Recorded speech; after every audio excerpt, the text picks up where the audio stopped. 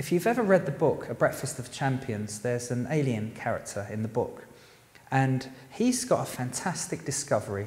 He's discovered the cure for cancer. So he gets in his spaceship and he comes down to Earth. He lands on a golf course, and the first person he meets is a bloke playing golf. He jumps out of his spaceship and hurriedly starts to tell the chap about his fantastic discovery. Within seconds, he's beaten to death with the guy's golf club.